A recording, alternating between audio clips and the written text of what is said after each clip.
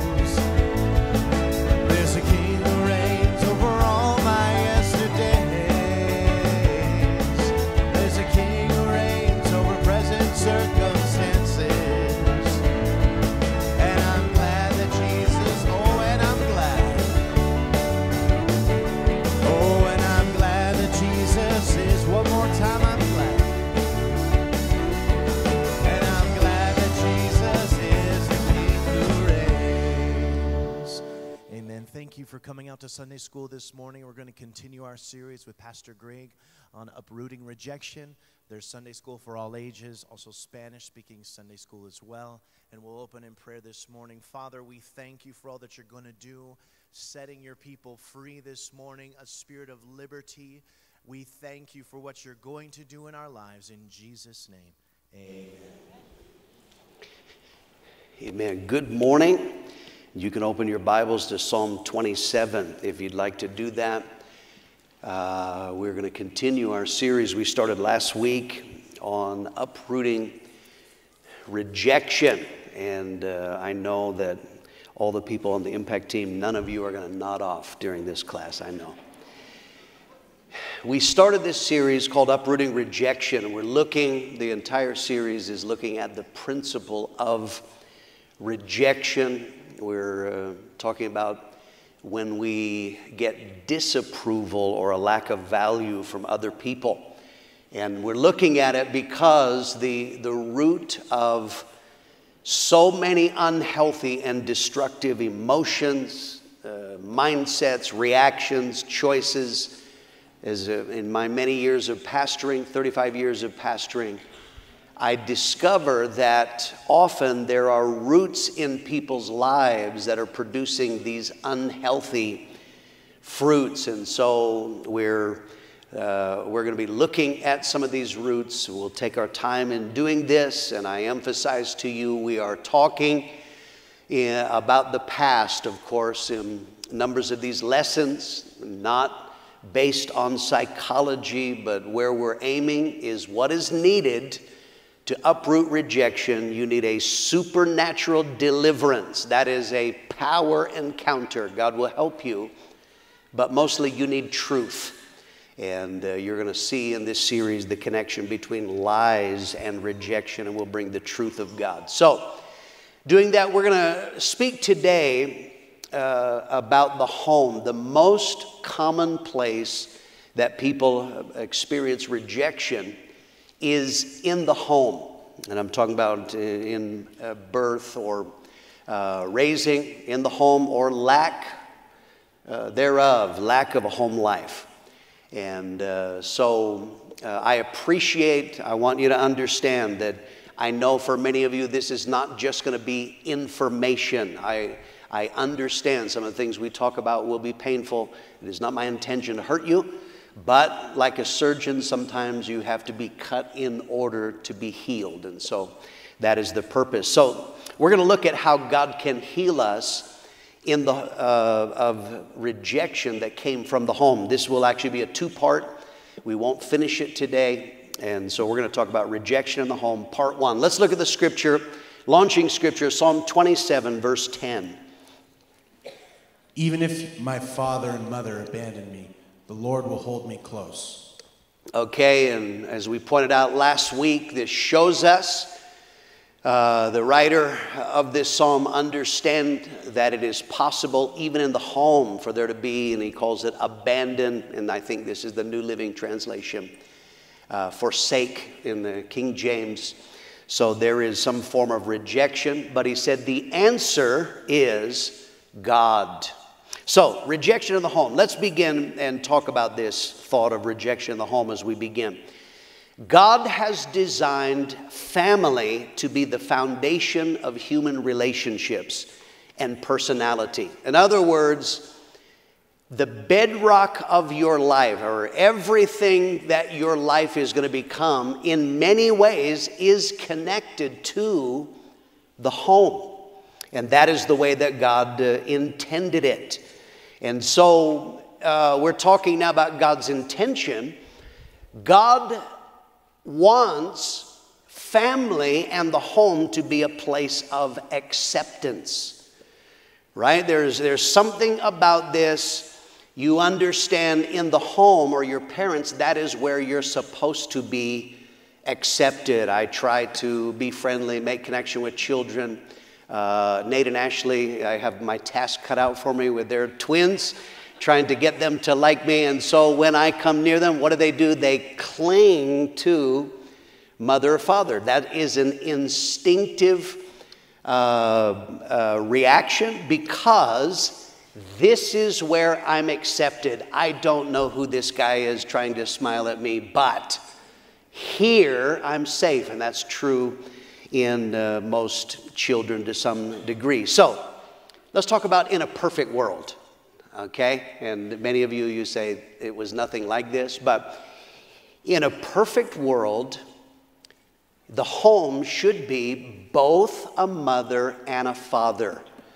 Okay, I know this is 2021. I, I shouldn't have to say this. Mother and father should be a man and a woman. Right? If you think Heather has two mommies, that's not correct. So, perfect world, there should be both mother and father, and I'm speaking biological uh, as well. That's a perfect world. Secondly, that in a perfect world, both mother and father would want the child that they created. That is God's uh, intention. Thirdly, in a perfect world, both mother and father would raise the children. There would be presence, they would be in the home, not absent.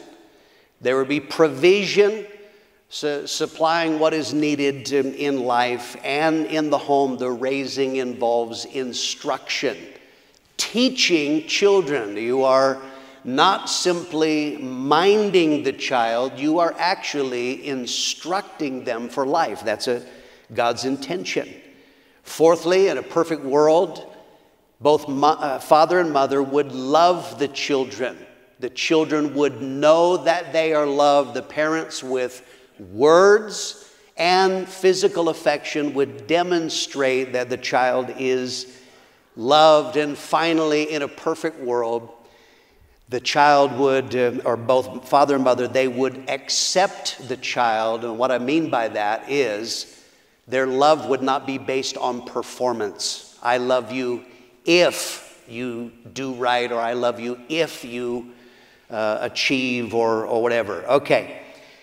When those elements of God's design are present in a healthy family and healthy relationships, it provides powerful things inside of a person. And these are absolutely instinctive. We spoke in our first lesson about the issue of identity. You gain your identity. People are, we, I told you a story about a young man asking, Who am I? I don't know if you understand this. In the home is where your identity is first formed. Some of you, your children, you have nicknames for your child. You call your daughter princess or uh, come on, champ. You're actually giving them an identity.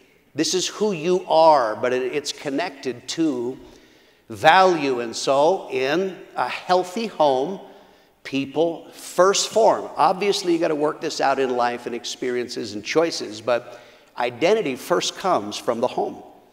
Confidence. If you see children that are very confident uh, children, often they're raised in a very healthy home.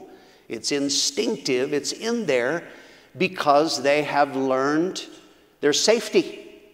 I don't have to live in fear in all of life because um, my worth and my value, and I'm not talking about what other people think of you, I'm talking about how you see yourself. Human worth is really what do you think you are worth? We talked a little bit about that. And then there are reference points in the home that are formed. When, when I married Lisa, there was a great advantage. I did not have to go find a book to find out how should I treat my wife or when uh, uh, Emily was born. I didn't have to get a child rearing book. How do you treat a child? There were things I had seen reference points my entire life. I was treated a certain way, so there were things that were instinctive, and we learn reference points. And finally, in the home, you learn boundaries. Boundaries are a very important uh, uh, issue in life. This is why parents should set boundaries and limits. You learn that in the home. And uh, you understand that children, they will act in many ways. Part of the job of parenting, train up a child means to narrow. You set limits. You will not act like that. In our home, if you were upset about something, you were not allowed to sit at the dinner table and pout. Right? So we would come to the dinner table, and because I was mad, we would put our hand over like this. We didn't look at people, and we would eat like that. And my parents would lovingly say, If you want to keep your arm attached, no. That you're not going to act like this here. So, but that's a life limit. You can't just act any way you want. There are people that they, you know, on the job, in, in uh, relationships and ministries and church. They act out because they've never learned limits. You will control your emotions. So, all of that is the perfect world, right? If there is both father and mother, and if they will love and instruct and accept and put boundaries, et cetera, et cetera, then that will help a child, as they grow into adulthood, they have a great advantage. I'm not discounting every child has to make their own decisions. You can raise a child perfectly, they can choose to be a rebel, that's on them. I understand that. But I'm talking about God's intention. So, of course, everything that I said, for some of you, that is not at all what you experienced. You did not have some of those elements at work in your life. So, the home for many people is the place where they experienced their first rejections in life. And in fact, for some people, the greatest rejections they will ever experience in their life will be in the home. Let's read the, our main verse, Psalm 27 10. This is a New Living Translation. Even if my father and mother abandon me, the Lord will hold me close. Okay, this is put in the Bible because that is what many people have experienced. Father or mother or both have abandoned, whether that is literal, they were not around, whether that is emotionally, they didn't show love and affection, communication, whatever it was, there was an abandonment. In fact, if you think about it, the Bible has numbers of stories of rejection, people that were rejected in the family. And the reason why is God knows that this will be a common occurrence in a fallen, sinful world, is people will experience rejection. So, Let's look at some of the ways that uh, rejection comes uh, in the home. And we'll go through these. Uh, part of the issue is when I'm talking with people about rejection, they are thinking only in one area and they say, No, I wasn't rejected. I had a mother and a father, or uh, you know, different issues. So let's look at numbers of ways. And the point of this, I'm quite certain most of you, you didn't experience every single one of these, but somewhere in this list, I bet you're here. So this is to identify what we're identifying is roots so that we can ultimately get healing. So, first rejection you could experience is your birth circumstances. For some people is their birth was not wanted in, in some way. That can be an unwanted pregnancy. Uh, for different ways because of age. You're a teenager, fooled around, got pregnant, and th- this is not what I was wanting to uh, happen. Of course, you can have uh, ladies that are older, they didn't want a child because of their age. You have children, they're conceived because of an affair, incest, rape. Of course, those are terrible, the worst possible circumstances. But then there can be just simply because of finances. You have people that they have numbers of children, having another one is stressful financially. And so this doesn't mean they're evil or they're going to hate the child, but it's just like, I, I don't think I want another one. And uh, others, because of life plans, I wanted to be, I wanted to have this career. And so now this pregnancy has uh, changed. And then, of course, you find people, some are given up for adoption. The reason why that is important is that, I can give you scientific studies, that feeling of the child not being wanted, the baby can feel that in the womb. This is very, very important. It is uh, a, big deal because the child feels that, and you have children that are born and now a door is open because of that feeling of not being wanted. You have some uh, children that the, there was disappointment over the child's sex. Dad was determined to have a football team, and he had a girl. I, I wanted a boy. No, that's not uh, happy. You have uh, women that they're going to have a baby. It's a boy, but the problem is she hates men. And so this is something that there was a disappointment. You were not what the parent wanted. There's a second type of family rejection that is inherited rejection. Some of you have wrestled with this issue that you know that your father, mother, or both parents, for whatever reason, in whatever way, they let it be known that you were not wanted or they did reject you. And you deal with that, whether that's bitterness or messes with your head. But you know what? Parents that have a root of rejection, they usually pass it on. Unless the curse is broken, they generally pass it on either spiritually or they literally pass that on. For some of you that you're struggling, my dad, my mom, but if, if you would have mercy for a moment, your parents also were born into rejection. That's all they knew. And so it's difficult. Uh, without the gospel, it is very difficult and rare for people to break the curse. And so there is inherited rejection. Some of you will recognize this. What you experience, your parents experience, grandparents, it's just been passed on through generation. Third issue is abandonment. And now we're talking about a parent or both parents that leave the children. In our society, there are people they really like making babies, but they don't want to raise the child that they uh, that they created. And so you have this. The, the man said, I'm out of here. I'm not helping to raise, or it can be the reverse. You have children that have experienced this. One or both parents, they ran away because of stress, because they were having an affair, because of selfishness at some point, they abandoned and left uh, the, uh, the family. Then divorce. You have people, they're fighting with each other. Man and wife are fighting, having conflict, and so I can't take it anymore.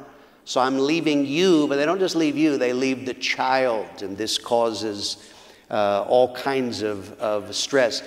A few weeks ago, I heard an interview. Unfortunately, I, I came in, I don't know at what point it was, in the interview. It, I, I gather from what they were saying, I only heard a, a, couple of uh, minutes of this. I gather this was a rapper from the 90s. I do not know my rappers. okay, except for saran wrap, that's all I know. But this was a rapper, and they were uh, interviewing him, and he was telling when he was a boy, his father was a drug addict. And he said, My dad would tell me, I'm coming tomorrow to pick you up. And he said, I would sit on the step waiting for him, and dad would not show up. And he said, One day it had dawned on me, and this is his interpretation. He said, Dad chose drugs over me. He loved drugs more than me. And then he went on to begin to describe that then how he treated women, his own children when they were born, how this affected him. Now, that is an interpretation. I don't think his dad literally said, hmm, my son or drugs. It wasn't like that. He was addicted and bound by a demon spirit. But, but this man now, I gather, is uh, uh, this is many years later, and that is affecting him. He said, Dad didn't want to raise me. Addictions is actually a form of rejection. When parents are addicted to drugs, alcohol, pornography, it often creates a failure to love, to accept, to raise, whether that is selfishness, not wanting to spend time, whether that is just they're not around because they're pursuing their uh, addiction. And, uh, and so, for many people, that is actually a form of rejection. Addictive parents create instability, right? There's constant turmoil. You got kicked out of the house because you spent the money on drugs or alcohol instead of, you got fired from jobs there is constant instability. One of the things that God meant the home to provide is stability. That you know, all right, the world may be crazy. I can go home. I know what, what the home is going to be like. People didn't experience that because of addictions, and then, of course, that a child receives a message that the drug or alcohol, pornography is worth more than you are. Then, of course, there's abuse. People in the home, they did not receive love and acceptance. They were abused, whether that is uh, violence, they experienced physical violence, whether that is verbal abuse, and, and I'm, uh, when that's a whole issue in itself, or whether that is sexual abuse that some people experience. The problem with abuse, it is an absolute assault on your worth. You experience when someone who is supposed to love and accept you, instead, if they are beating you, if they are verbally attacking and demeaning you, or if they're sexually abusing, your worth, and I'm talking now about how you view yourself. Some of you, the abuse was many, many, many years ago, but the problem is how you see yourself. And I spoke about this last week about girls that choose dirt bags. Why do you not think that you are worth more than a dirt bag? Right? It's not like a girl is like, you know, I'm, I'm going to make a bad decision. I found a multimillionaire. That's not what happens, is it? And so this is a worth issue. There are people, I can't because you got a message from abuse that you are not worth something. Or you get a false message of your, you get a twisted uh, uh, message. This is one of the problems of, of girls that are sexually abused is the message that is given to them that is a complete lie. You are only good for sex. That is your whole worth as a human being. That is a foul lie from hell, but this is, this is the result of abuse. Then there are harsh words. There are people, I'm not talking about just, uh, you know, someone having a bad day. There are people that literally, uh, over and over, as they were being raised, they got from one or both parents the words that were spoken. What good are you? That, that's a worth issue. You're getting a message that you actually have no worth. You're stupid. We talked about that last week. You're worthless. I hate you. I never wanted you. I wish you were never born. So, uh, this is actually something that is, in some people, that kind of abuse is deliberate. Whether that is to demean to get their way, whether that is a reaction of what's going on in their life uh, as an overflow, but this is what some people experienced in the home. The basic messages they were getting was not, you are loved and accepted and valued. Instead, you're stupid and worthless, and I wish you were never born. So, those are things that then it's going to affect you in your life. Then, withholding love. Some people, I think I mentioned this last week, they say, but I did have a mother and a father, but uh, the, the problem was is that you never heard from the parents. They were there in the home, but you never heard words of love, value, and acceptance. They never demonstrated that. Uh, love uh, is, in some case, it is withheld. For whatever reason, they are refusing to give affection. There are parents that they are, they got a twisted view of money. And uh, you, you, I can't give you money. I got to teach you to earn it, and all kinds of, uh, all kinds of strange things. I, I knew a man that all his life, everything. If his dad bought him a pair of shoes, he wrote it in a book and he said, You have to pay me back. That'd make you feel warm and fuzzy inside, wouldn't it? Withholding love. And then, of course, connected to that is simply an inability to express love. Some people never hear words of love and value and acceptance. Instead, what they experienced in the home was coldness. Their parents are very cold. They're there, but they're cold. There's no warmth of love or inattention.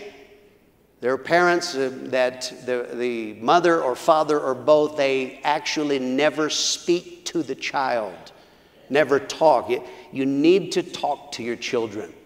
And I don't mean simply correction.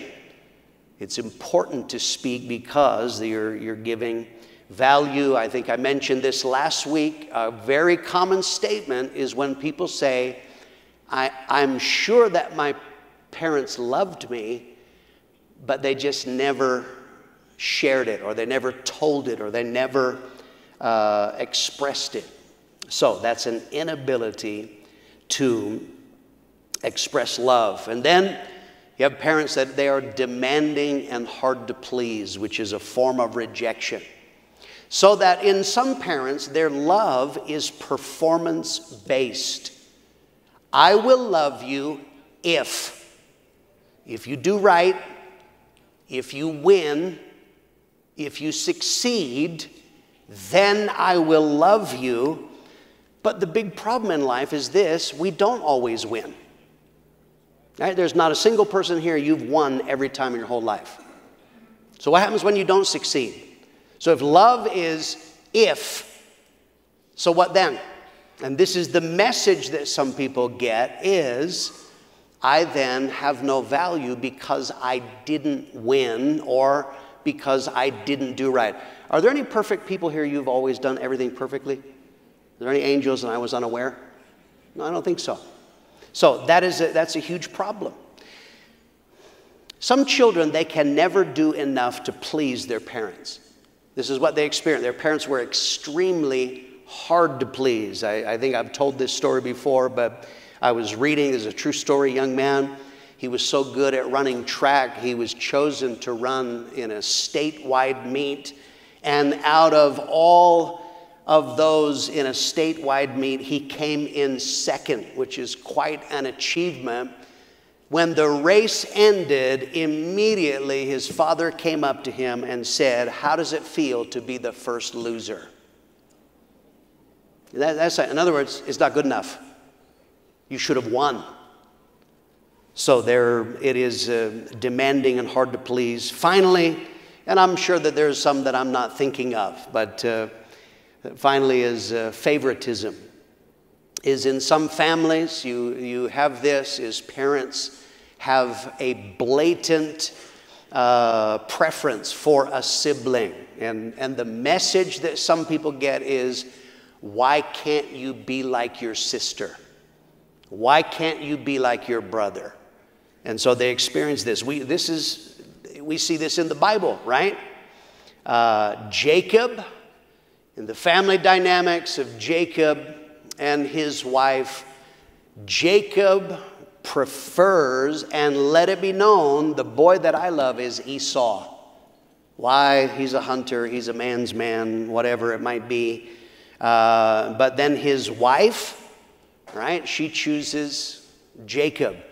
So, this is the atmosphere that they are raised in. We see that Jacob then becomes a shifty schemer, trying to cheat people in life, but this is what he was raised with is, is uh, favoritism. In fact, in some families, this is actually encouraged sibling rivalry.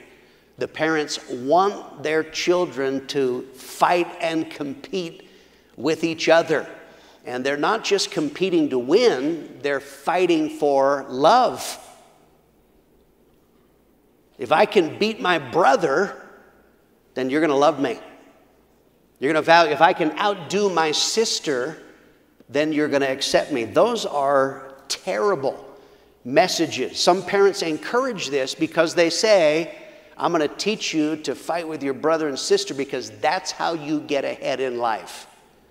And they bring this even into the house of God as that's what you do is you, you pull down and you kick and you outdo. That, is, those are terrible messages. So, these, of course, are, and I'm, I'm sure that I'm not mentioning all of them, I'm just giving you a broad uh, cross section. Any of those events, they produce rejection. And so, we, let me give you a few uh, uh, definitions, um, a sense or feeling of rejection. But so, rejection can be defined as a profound sense of being unwanted or unloved. The word rejection, we say we reject something, that is something that is cast aside, to be thrown away, or having no value. And finally, is rejection gives us the message. When you experience this in the home, unfortunately, we're getting the message we have no value or less value. We don't fit. That is what rejection actually produces. Now, in every human relationship, in every setting where there is people, I don't fit. Some of you struggle with this. You come into church, service after service, you look around, but deep with it, this is not based on how you're treated. You look around and there you got the message early. I don't fit. I don't fit with these people. I'm not good enough. I'm not like them. But that was a life message that you have received. You don't measure up. Some people just have this basic feeling or sense in their life that, um, that something is wrong with me. That's how they approach this. Something is wrong with me. It must be because this is how I feel. So, that is the first place that rejection occurs is in the home. And this is what people uh, have experienced. There may be people that you, uh, some of the things we've talked about, one or maybe uh, more than one, or God forbid that they be all, but you, you got these messages of worth and value. That was not God's plan. Okay, this is the result of the fall. When, when man had a fall from his state of grace with God, sin produces this. Sin produces rejected, broken people, and they don't know how to break the curse. And so they pass it on and they wind up rejecting their children in various ways. And then the cycle goes on and on and on. And as I said, The reason why I want to do this series is because I love helping people. And when I see people they're acting in ways that are unhealthy or destructive, uh, what I want to know is why would you do that? How did you get that way? And through the years, I have seen the most common way that people have these things that they're struggling with is rejection. And so we're, gonna, we're going to get to some good news. If I've depressed you, absolutely, if you'll keep listening, we will get to this. Okay, let's talk secondly about, a, about an issue now. Let's talk about the lies of rejection. I, I stress to you, this is not psychology. I have no interest in, I'm never going to put a couch in my office. And lay down and tell me, how was it when you were a child? That, that's, not, that's not my point. Okay, let's talk about the lies of rejection. The greatest danger when you experience rejection, of course, in any form or from anyone, but we're talking about the home, the greatest danger of rejection is that rejection tells lies. When someone rejects you, it's not just, oh, that was mean, it's a message. And often the message you receive is a lie. It's not true, and yet that experience tells us that it is true. Think about this the devil's greatest strategy in life is to get us to believe lies. Is that right? Eve, her life was changed. Adam's life was changed when, first of all, Eve believed lies that the devil was telling. The devil does not have the power to get you in a headlock and make you do anything. His main weapon that he uses against people is if he can tell you a lie and get you to believe it. John 8 44.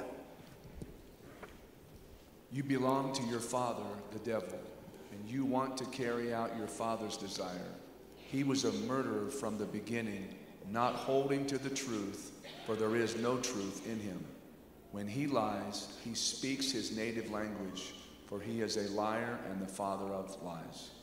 Father of lies. That is a classic statement from hell.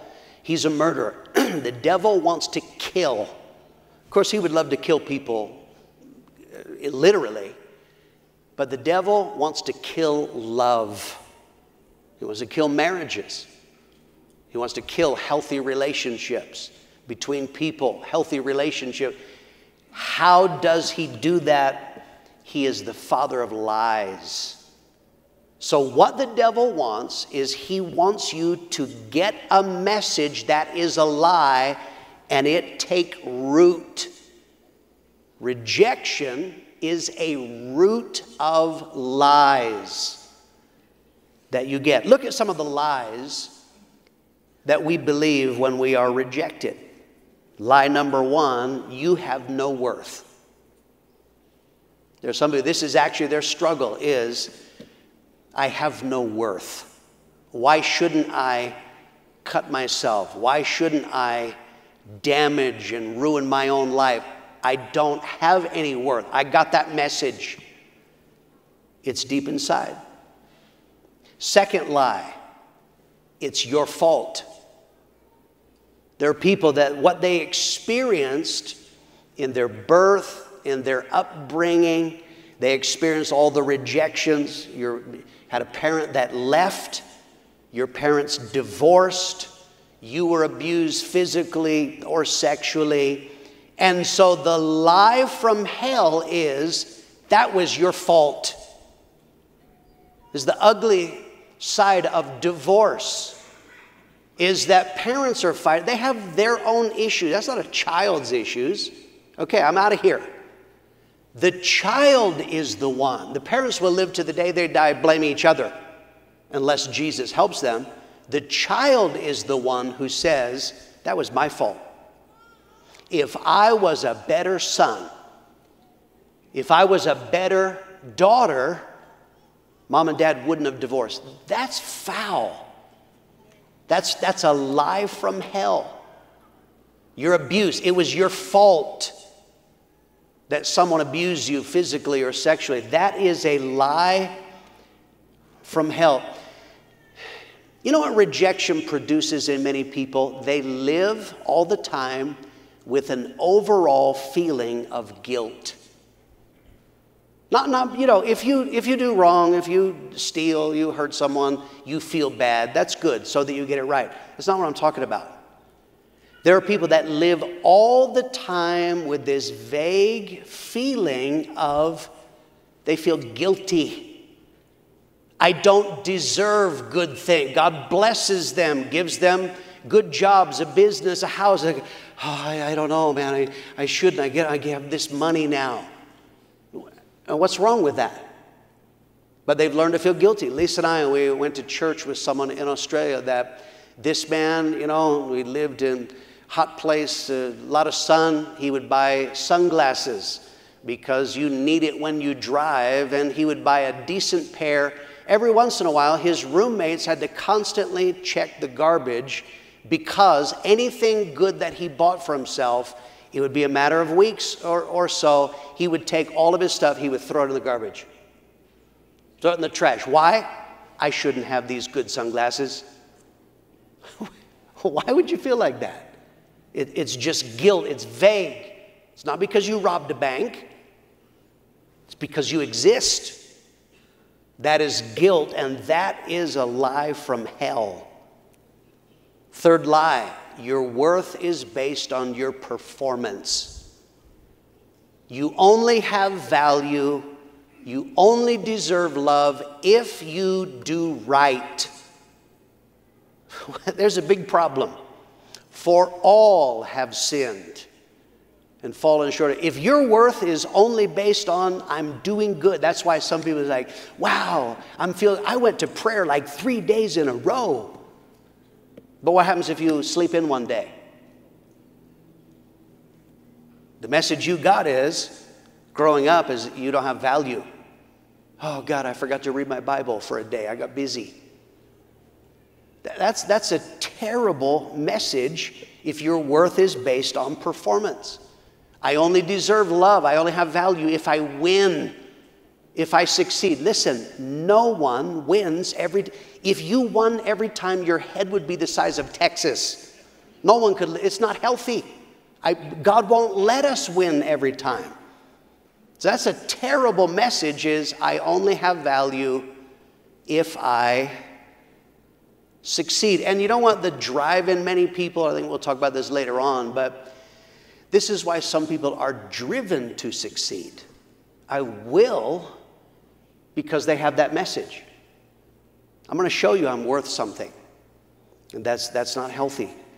Fourth message that's alive from hell is you need to be perfect.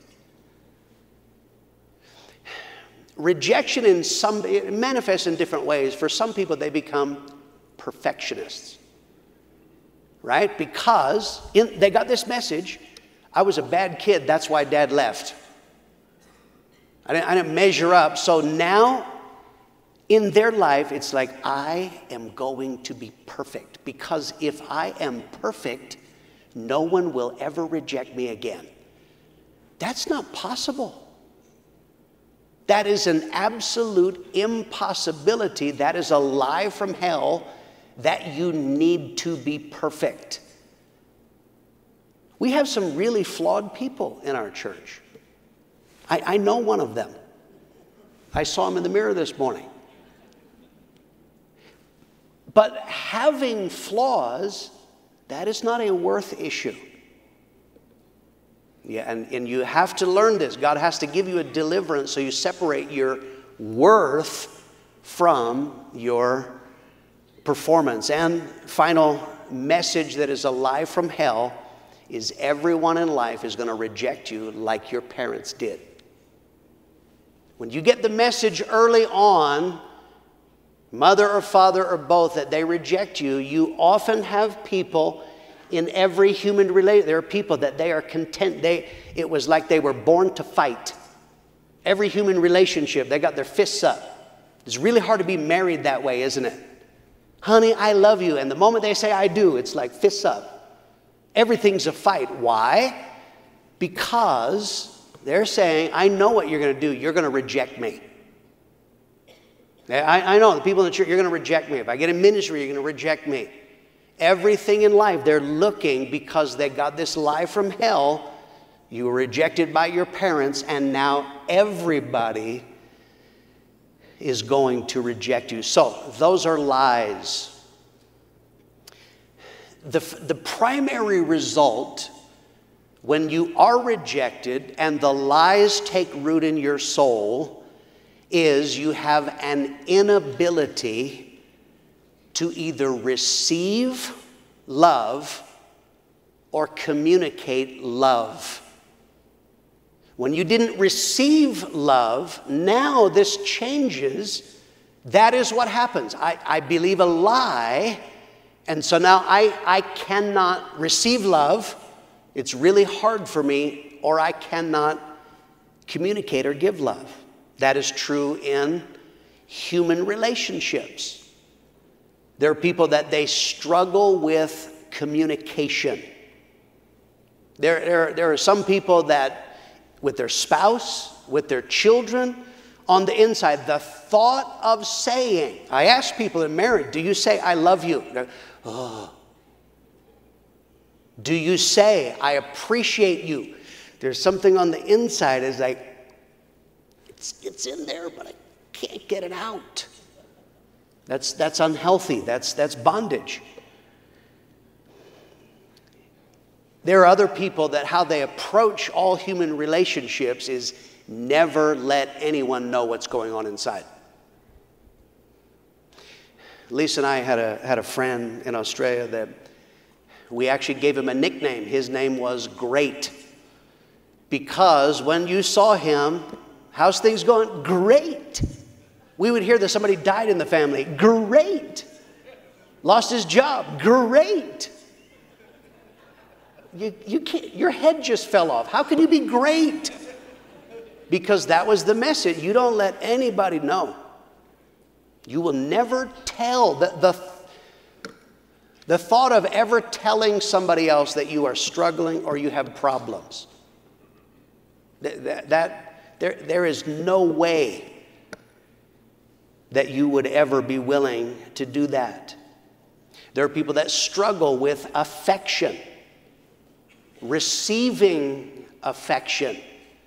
There are some people that, that don't touch me in their relationships because it, in, in some people, they, this is the, the problem is they have, because of abuse, they equate any form of affection with sexuality. What kind of creep wants to give somebody a hug? What are you, a pervert? No right? That's a, that's a, a, a message. Giving affection. There's a problem. If you were raised with rejection, now you get married. Listen, your spouse, they have a need. They need affection. But there are people that that's like the whole idea, of like hugging someone.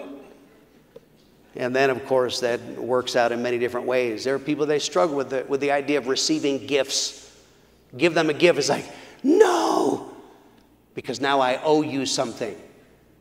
You don't owe anything. They view life like a scorecard, but, but you paid last time. I have, who cares? That's actually an issue of I don't like people showing me value, and that's an unhealthy thing.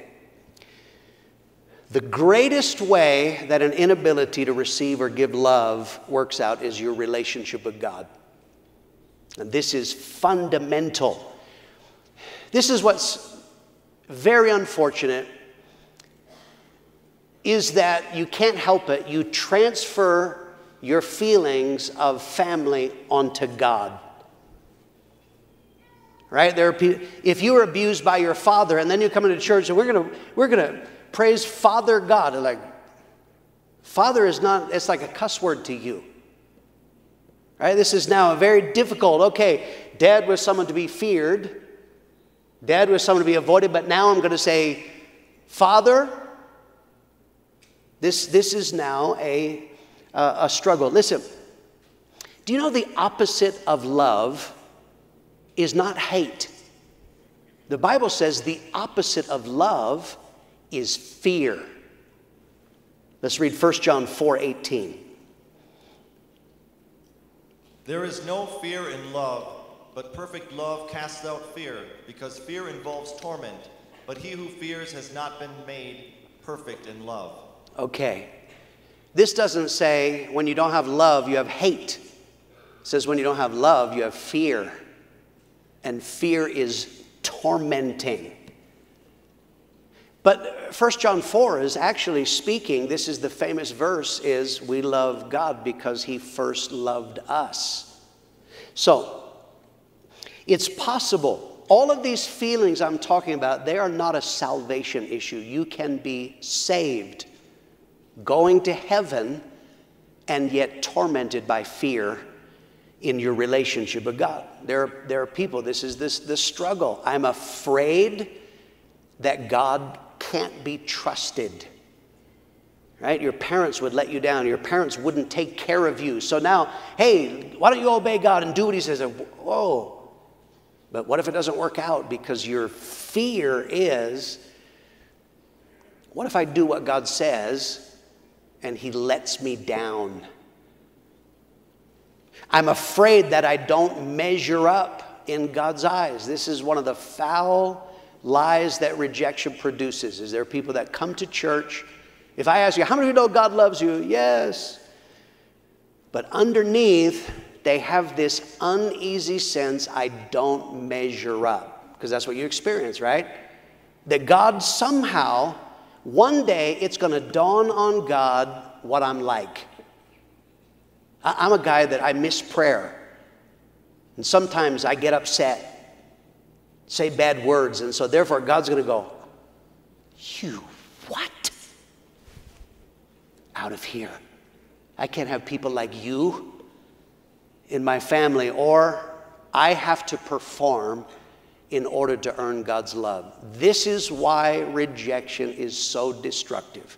Human relationships and relationship with God. One verse before we close Luke 15, 29 and 30. But he answered his father, Look, all these years I've been slaving for you uh, and never disobeyed your orders. Yet you never gave me even a young goat so I could celebrate with my friends. But when his, this son of yours that has squandered your property with prostitutes comes home, you kill the fatted calf for him.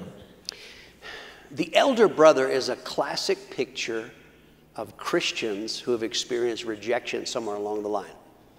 He is doing the right thing. I've been slaving. the idea, I've been working hard. Christians should work hard. I've never disobeyed your order. I do right. Christians should do right. But how sad is this he's doing this all this time is because if I do right and I work hard, dad will finally love and appreciate me. Killing the fatted calf or the goat, or what he wants here, this is, this is showing, hey, everybody, I love my son so much. Let's have a party. And his father says, But it's always been your, I've always loved you. You could have had it at any time. In actual fact, that was in you, that was not in the Father.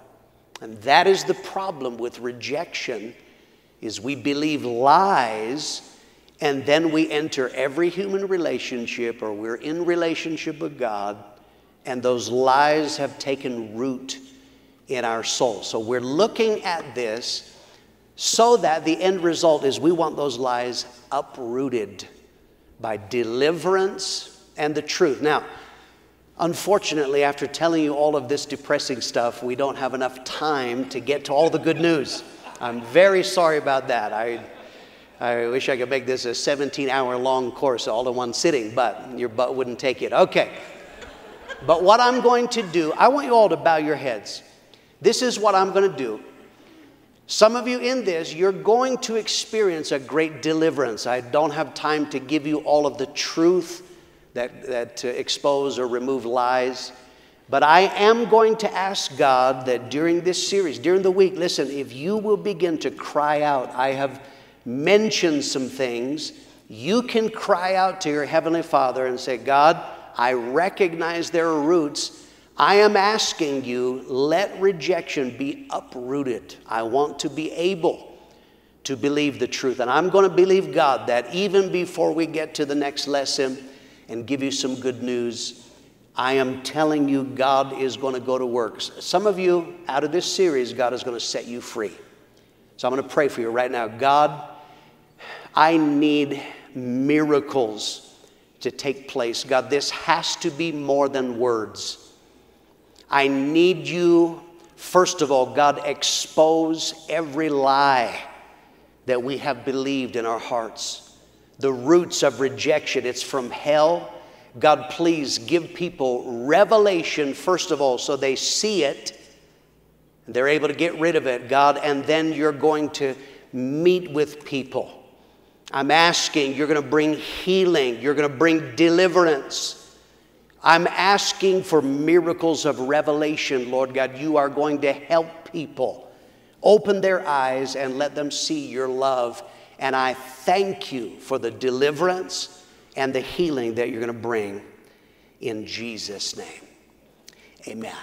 Amen. God bless you. Service will start at 1030.